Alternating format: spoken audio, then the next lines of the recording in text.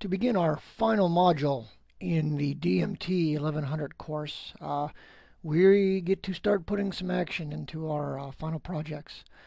And this will be the most um, extensive of all the modules, um, not because of the amount of information, but because of the time that you will need in order to make some of these things work. So, without further ado, let's go ahead and do a quick review uh, up to this point we've been using the main toolbar and we know that there's several different uh, icons we haven't used yet that we may see. Uh, we're going to start retrieving some information possibly using this fourth tube over here uh, called motion which will help us to do some minor animating. Uh, the viewports uh, I want to stress to you again how important it is to start working in the top left and front viewports.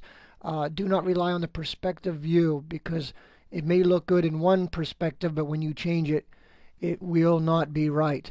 Using the front, the top, and the left uh, are guaranteed uh, a straight motion. And that's what we want to do is minimize the amount of uh, turns and um, uncontrollable moves because if we have to make a correction, it'll be much harder to do in the perspective view.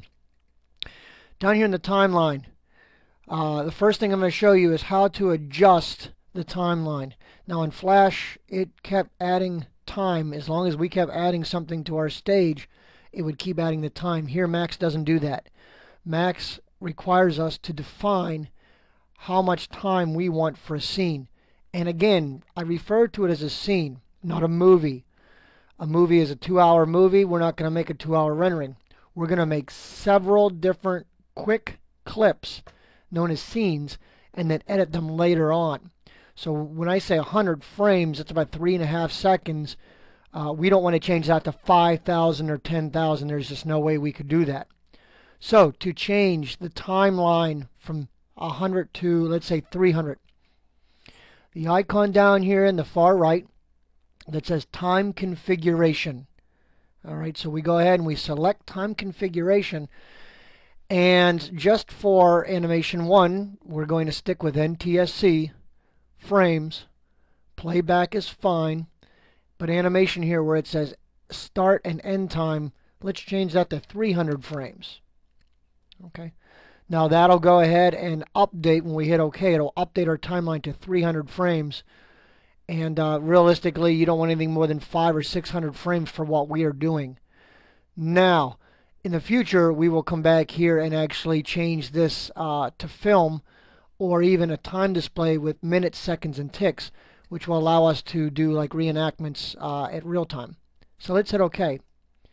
Notice now we have down here uh, 300 frames. We can pull our slider by clicking with the left mouse and dragging. And of course, nothing's in our scene, so we're not going to see a change in time. But this would be our start, this would be our end. Now, just a couple other basics, and then uh, we'll move on to the next lesson. And that, of course, is some of the other features of the timeline down here. We have something called set keys. We'll be using this to define a keyframe, uh, say at the beginning uh, of our scene.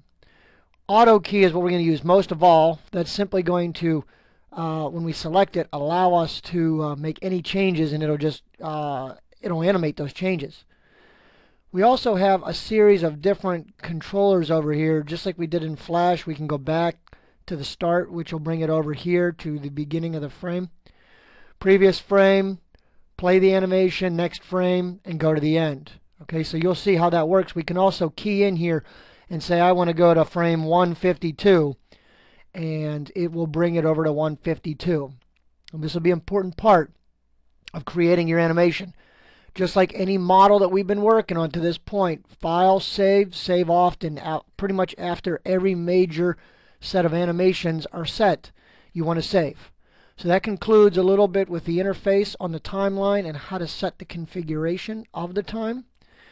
Uh, we'll begin our next lesson by making things move.